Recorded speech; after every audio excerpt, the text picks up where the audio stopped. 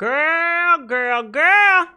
I feel like Nicki Minaj is secretly talking about Meek Mills in this video in this in this video because it is a video because i'm making it a video. So it's a post from a fan that says your husband has anger issues. He's very insecure and you fail to admit it. Get him together says stop defending his actions. He is making you look bad okay Mind you, this has 137 likes, and I think this is on her Instagram. And Nicki Minaj, she did reply and she did block this girl. Yes, she did.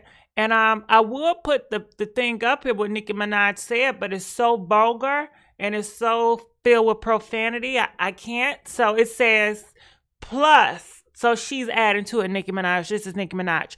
Plus, he got a big, thick, juicy D, child. I I can't with them skinny pencil D's, child.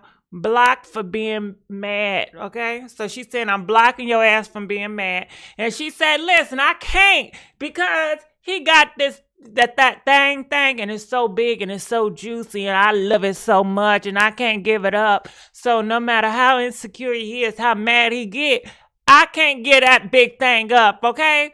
I cannot go back to them small, skinny pencil things. It don't feel good. He's here for my good feeling. He got a thing thing, and he's, I guess, good security, and I like it like that.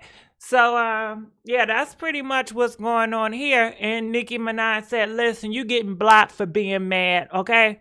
You getting blocked, so she's going back on her blocking rant. So, um, you just better shut the hell up when it comes about her and her relationship because she will block you if you don't want to get blocked from her Instagram thingy thing. So, hmm, that for all y'all that go over there and post and stuff. So, hey, be careful what you say because you will get blocked. Comment, let us know what you guys think about this. Make sure you guys like, share this video, subscribe to the YouTube channel.